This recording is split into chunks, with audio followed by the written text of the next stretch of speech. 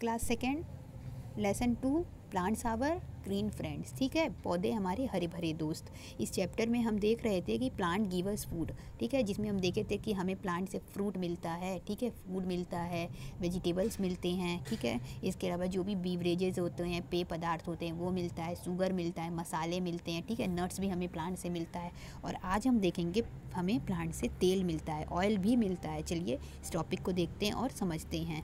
We get oil from plant हमें plant से तेल भी मिलता है, ठीक है? ऑयल भी मिलता है। We use it for cooking हम इसका इस्तेमाल कुकिंग खाना बनाने में करते हैं। एज मेडिसिन दवाइयों के रूप में करते हैं and for applying on hair और साथ ही साथ अपने बालों में लगाने के लिए भी करते हैं। We get it by crushing the seeds of plant that are rich in oil ये किस तरीके से किया जाता है? ऐसे प्लांट जिनके सीड में, ठीक है, जिनके बीज में तेल की मात्रा अधिक होती है, उनको क्रश किया जाता है, ठीक है? उनको क्रश करने से क्या निकलता है? उसमें से तेल निकलता है। फॉर एग्ज़ाम्पल उदाहरण के लिए देखिए seeds of sunflower are crush to make sunflower oil sunflower oil बनाने के लिए जो भी सूरजमुखी होता है, उसके सीड को क्रश किया जाता है और उससे सूरजमुखी का तेल मिलता है, ठीक है? आगे देखिए।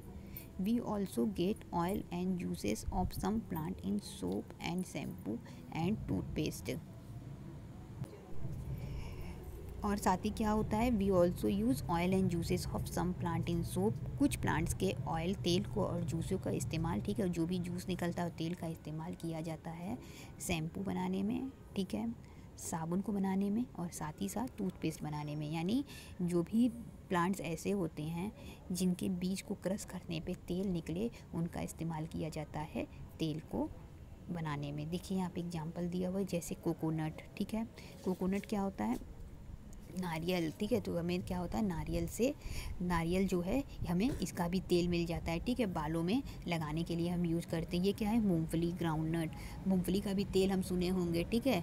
इसको भी हमें किससे मिलता है? मूँगफली से मिलता है ग्राउंड नट से, ठीक है? ये क्या है? सनफ्लावर ठीक है? ये क्या है? इससे हमें क्या मिलता है? सनफ्लावर ऑयल मिलता है, ठीक है? सूरजमुखी का तेल।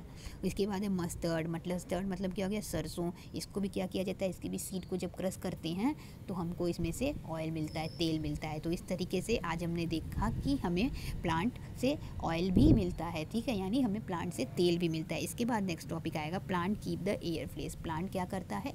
एयर को फ्रेश रखता है, ठीक है? तो इसको हम नेक्स्ट वीडियो में कवर करेंगे। आज के लिए बस इतना ही. Thank you